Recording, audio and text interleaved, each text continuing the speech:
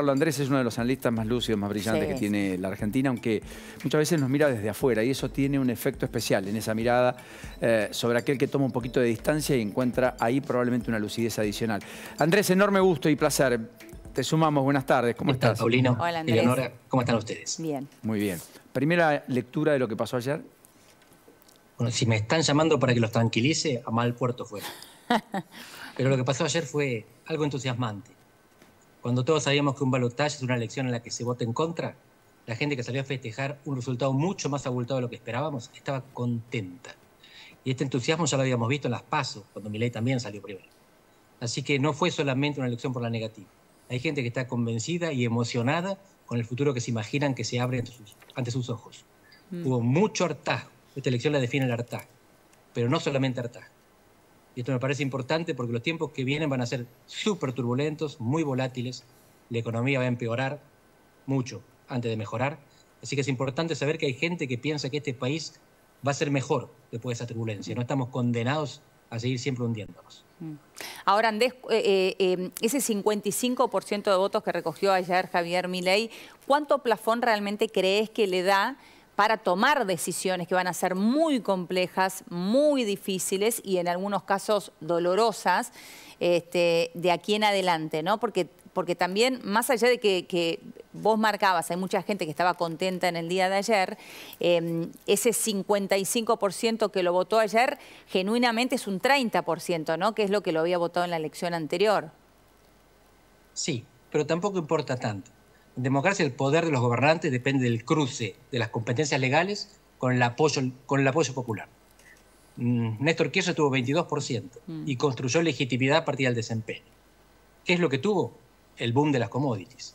Un mundo que se le abría con precios altos y con tasas bajas. En ese contexto, haciendo un gobierno normal, pero fíjense, basado en el superávit gemelo, ahorrar más de lo que gastaba y vender en el mundo más de lo que compraba, él consiguió mantenerse durante 12 años y después, con cuatro años de recreo, poner un presidente más a través de su mujer y Alberto Fernández. Ahora las condiciones son mucho menos positivas en el corto plazo, pero en el medio plazo Argentina tiene mucho futuro por delante. La cuestión es cómo se transita ese periodo que va entre la turbulencia actual y el futuro brillante que tenemos por delante dentro de un tiempito. Y para eso no alcanza con la legitimidad electoral, aunque hubiera tenido el 80% mi ley no se olviden que Alberto Fernández tuvo el 80% de aprobación popular cuando empieza la pandemia. Al inicio de la cuarentena, Alberto Fernández andaba entre el 80 y el 90% de aprobación. Y hoy no lo encontramos. Hay que ir a buscarlo, como decían ustedes, a la Quinta de Olivos para ver si hay alguien en el timón. Así que el 55% no garantiza nada aunque se mantenga a lo largo de todo el mandato. El otro factor es cuánto poder institucional tiene. Y el poder institucional de Milei es escaso.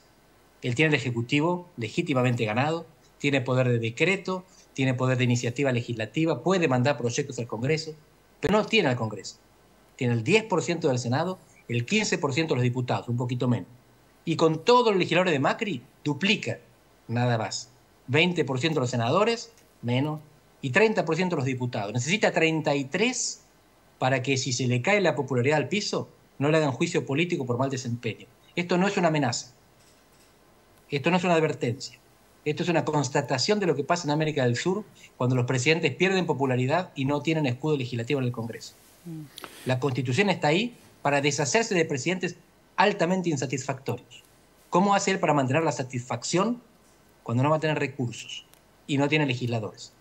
Tiene que seducir, tiene que cooptar y tiene que compensar.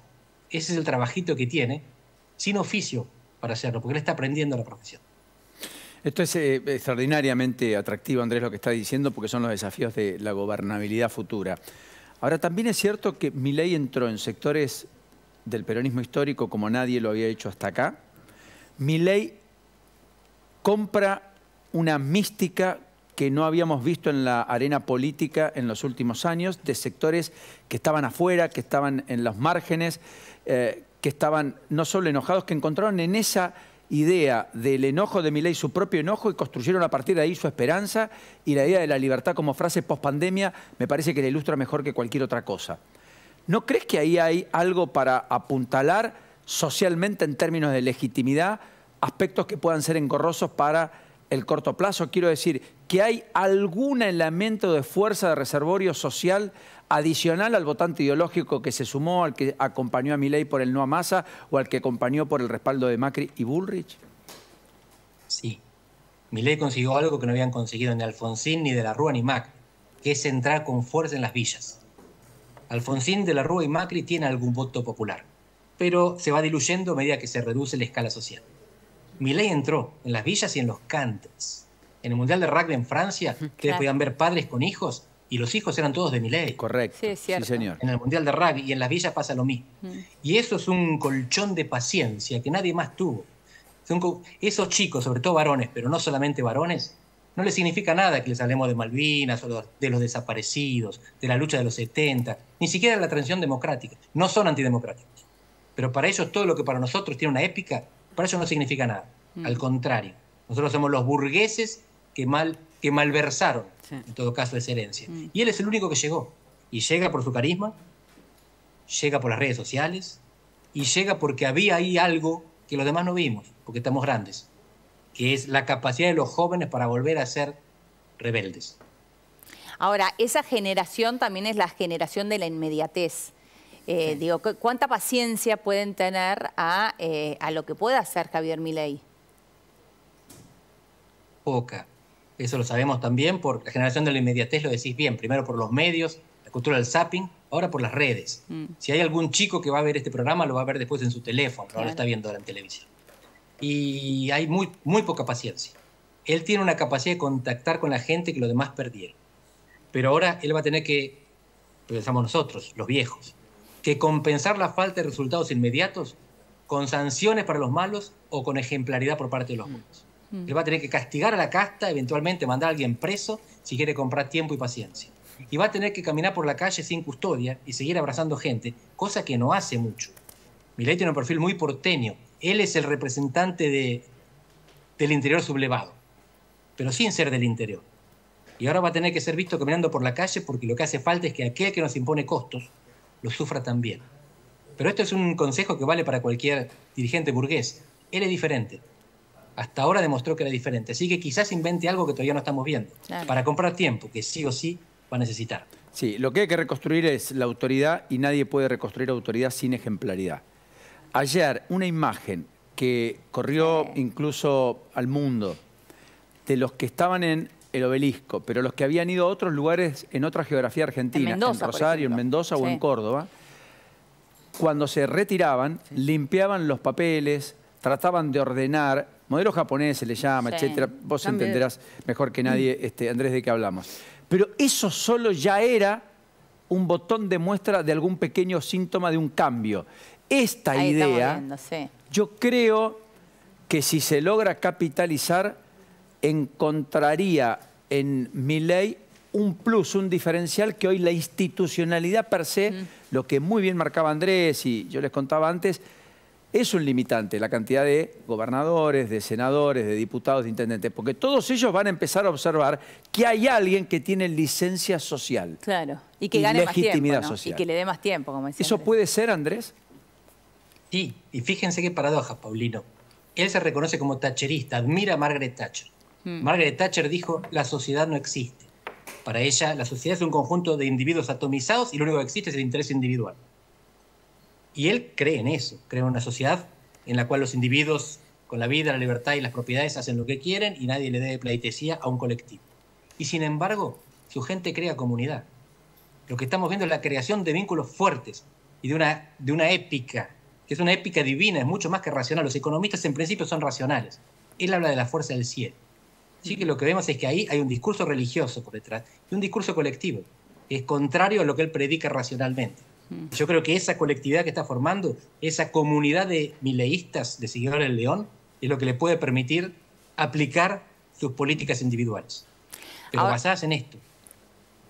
Ahora, Andrés, perdóname eh, por la interrupción. No, digo, eh, eh, será entonces clave también las designaciones y la gente que lo rodee porque hasta ahora cuando, claro, cuando nosotros estamos viendo una campaña, ahí la centralidad puede estar en la ejemplaridad o lo que él mismo diga y la mística que él pueda llevar. Ahora, eh, el tema es que esto también sea transmitido, transferido a cada uno de los secretarios o ministros que tenga, porque ayer ah, yo, yo escuchaba a la gente que eh, cantaba eh, cuando él salió a hablarle fuera del, búnker eh, y decían que se vayan todos, cantaban eso a coro, ¿no? Que se vayan todos, que no quede uno solo, y él en parte de su discurso dijo todos aquellos que este, militen o, que, que se plieguen las ideas de la libertad van a ser bienvenidos. Y yo decía, bueno, ¿cómo convive una cosa con la otra?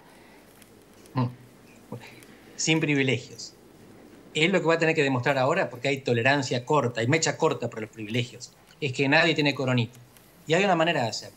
El único presidente latinoamericano que sigue siendo popular a lo largo del tiempo es Nayib Bukele, el presidente de El Salvador. No lo estoy poniendo como ejemplo mm. para imitarlo, simplemente estoy diciendo que creo que mi ley lo va a imitar.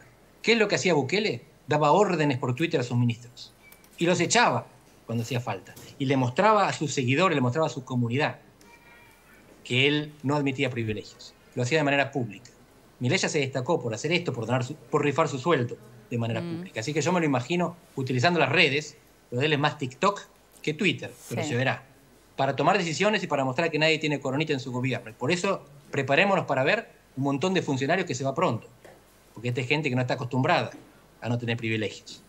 Así que me imagino que va a haber un, va a haber un movimiento muy temprano del gabinete y yo me imagino que eso es lo que está esperando también Macri, no con malas intenciones, sino como plan B, como rueda de auxilio, sentado en la segunda fila esperando que se vayan consumiendo los primeros funcionarios por falta de conocimiento, por falta de sencillez, para poner los equipos que va a hacer falta para la segunda etapa, porque todos los que piensan en economía en Argentina piensan en Remes Lavania. ¿Quién hace el trabajo sucio para que venga el siguiente a llevarse los laureles? Mm. Ahora, Andrés, es muy interesante lo que decís.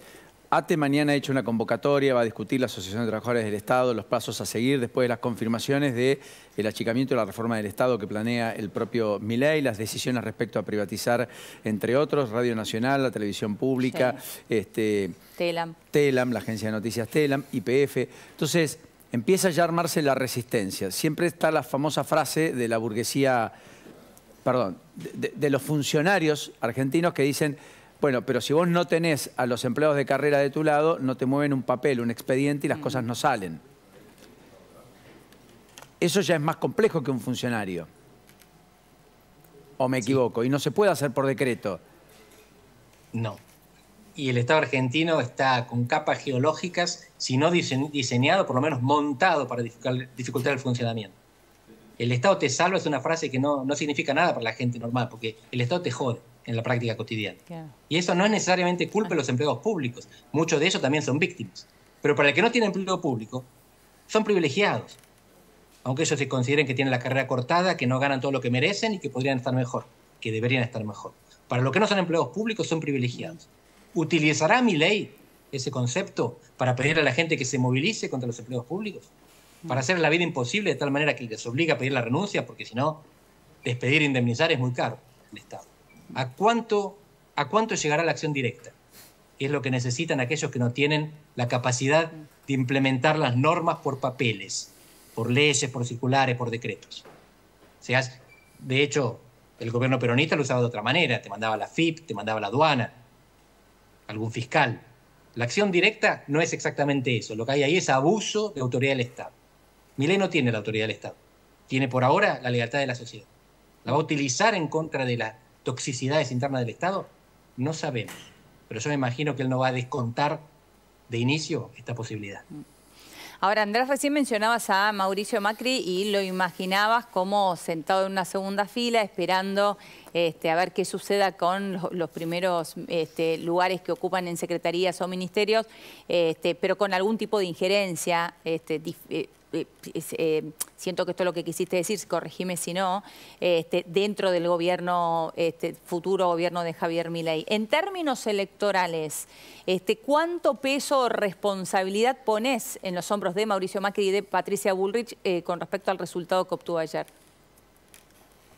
Macri sobre todo y Patricia Bullrich fueron habilitadores del voto. Milei era un candidato tabú, invotable para mucha gente, aunque simpatizaran con alguna idea de él o aunque fueran profundamente antikirchneristas. Mm. Cuando Macri y Bullrich se juegan por él, lo que hacen es habilitar toda esa bronca contra Massa para canalizarse por un candidato que hasta entonces estaba prohibido. Y fíjense que 30 más 23, 30 de Milei más el 23 de Burrich, 53%, casi estamos. La transferencia no fue completa. Tenemos estudios ecológicos que nos muestran que cerca del 80% junto por el cambio pasó y un porcentaje casi similar de Schiaretti. Así que lo de Macri fue fundamental. Lo de Milei, Milei tiene todo el mérito, es el principal ganador de esta elección. Pero sin Macri no sé si llegaba tan fácil. Macri y Schiaretti son los dos estandartes porque en Córdoba incluso logra Milei una ventaja mayor a la de Macri del 2015. Gana por 1.050.000 votos. Macri lo había hecho por 900.000 votos. Es 75-20 a 25. Eh, o sea, definitivamente lo de Schiaretti es un hecho, por eso se habla de Randazo como eventual ministro inclusive. Randazo dice, yo no puedo aceptar lo que no me ofrecieron ni rechazar lo que desconozco. Así están las cosas hasta ahora, esto es algo de información, pero lo que voy es, ¿qué pasa con el radicalismo? Vos conoces mucho el ámbito del radicalismo. Mi ley ha sido muy explícito en contra del radicalismo. Ahora, no es menos cierto que el radical acompañó a mi ley, y no es menos cierto que pese a que los dirigentes, muchos dijeron que no, algunos también jugaron a favor de Milay Paldés, Cornejo y algunos otros. ¿Qué estás imaginando en la provincia de Buenos Aires, algunos senadores provinciales o diputados inclusive? ¿Qué imaginas de cara al futuro en la reconfiguración política del arco opositor? Bueno, el radicalismo es un partido que desde el 83 se caracteriza porque su dirigencia está a la izquierda de su electorado. Buena parte de su dirigencia ahora se manifestó con el progresismo del kirchnerismo masista, imagínate a dónde llegamos. Pero la mayor parte del electorado radical, que es la que está sobre todo en el interior, en Córdoba, en Mendoza, en Santa Fe, donde Maxi Puyaro arrasó para gobernador, votaron a mi ley, por supuesto que sí.